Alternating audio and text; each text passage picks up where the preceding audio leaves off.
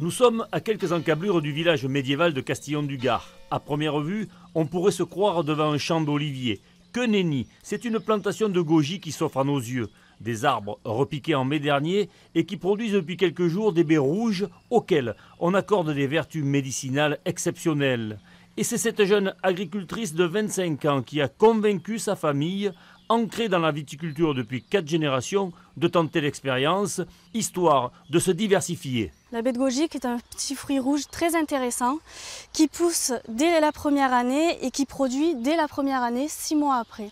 Donc c'est très, très intéressant niveau rentabilité pour l'exploitation. Alors au niveau rentabilité, ça donne quoi exactement? Alors on est à 70 euros le kilo vendu frais. Les 6000 arbres plantés sur 2 hectares et demi et le forage pour le goutte à goutte, c'est un investissement lourd pour Nancy et sa famille. Au total 45 000 euros. Alors pour ne pas faire d'erreur, ils ont sollicité l'aide d'une technicienne agricole. C'est un arbuste qui craint rien à part peut-être l'oïdium, mais là on a, bon, il y a eu un choix de variété euh, qui craint et qui est tolérante à l'oïdium. On savait qu'il y avait un risque aussi de vent, donc c'est pour ça qu'on y a mis en fait euh, tout ce qu'il fallait pour, euh, pour les attacher correctement pour pas qu'on ait de pertes. Cette nutritionniste diplômée depuis 8 ans connaît cette baie de goji et surtout ses caractéristiques principales, la régénérescence cellulaire et le renforcement des défenses immunitaires. Elles ont euh, des propriétés antioxydantes avec le bêta-carotène. On retrouve aussi une source de protéines, des oligoéléments et des minéraux avec une teneur en calcium intéressante.